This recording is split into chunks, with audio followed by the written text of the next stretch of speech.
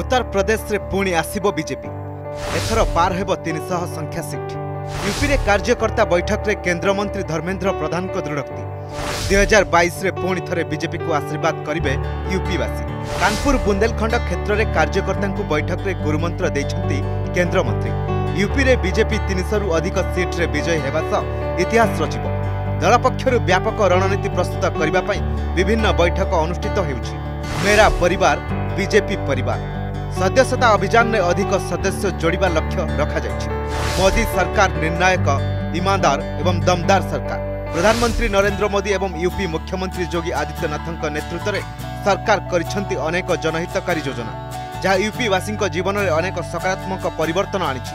ଯାହାକୁ ନେଇ ଦୁଇହଜାର ବାଇଶରେ ପୁଣି ଥରେ ୟୁପିବାସୀ ବିଜେପିକୁ ଆଶୀର୍ବାଦ କରିବେ ବୋଲି କହିଛନ୍ତି କେନ୍ଦ୍ରମନ୍ତ୍ରୀ ଧର୍ମେନ୍ଦ୍ର ପ୍ରଧାନ। ଚାରିଦିନିଆ ୟୁପି ଗସ୍ତରେ ଥିବା କେନ୍ଦ୍ରମନ୍ତ୍ରୀ ଶନିବାର ଉତ୍ତରପ୍ରଦେଶରେ କାନପୁର ବୁନ୍ଦେଲଖଣ୍ଡ କ୍ଷେତ୍ରରେ କାର୍ଯ୍ୟକର୍ତ୍ତା ବୈଠକରେ ଯୋଗଦେଇ କାର୍ଯ୍ୟକର୍ତ୍ତାଙ୍କୁ ଗୁରୁମନ୍ତ୍ର ଦେଇଛନ୍ତି। ଏହି ଅବସରରେ କେନ୍ଦ୍ରମନ୍ତ୍ରୀ ୟୁପିରେ ଦୁଇହଜାର ବାଇଶ ନିର୍ବାଚନ ପାଇଁ ଏକ ବ୍ୟାପକ ରଣନୀତି ପ୍ରସ୍ତୁତ କରିବାକୁ ଦଳ ପକ୍ଷରୁ ବୈଠକର ଆୟୋଜନ କରାଯାଇଛି। ଦଳରେ ଅଢ଼େଇ କୋଟି ସକ୍ରିୟ ସଦସ୍ୟ ରହିଛନ୍ତି। ତେବେ ଆହୁରି ଦେଢ଼ କୋଟି ସଦସ୍ୟଙ୍କୁ ଯୋଡ଼ିବା ପାଇଁ କେନ୍ଦ୍ର ସ୍ୱରାଷ୍ଟ୍ର ମନ୍ତ୍ରୀ ଅମିତ ଶାହ ଲକ୍ଷ୍ନୌରେ ମେରା ପରିବାର ବିଜେପି ପରିବାର ସଦସ୍ୟତା ଅଭିଯାନର ଶୁଭାରମ୍ଭ କରିଛନ୍ତି।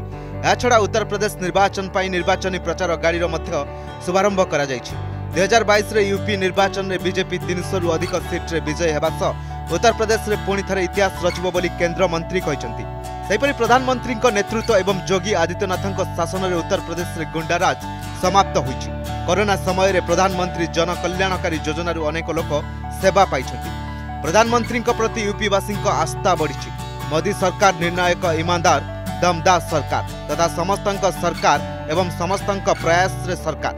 ସେଥିପାଇଁ ଏଥର ନିଶ୍ଚିତ ଭାବରେ ଉତ୍ତରପ୍ରଦେଶରେ ଲୋକମାନେ ବିଜେପି ଉପରେ ପୁଣି ଥରେ ଜନ ଆଶୀର୍ବାଦ ଦେବେ ବୋଲି କେନ୍ଦ୍ରମନ୍ତ୍ରୀ କହିଛନ୍ତି।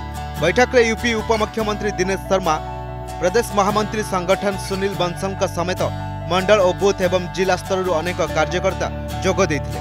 Bureau report Argus news.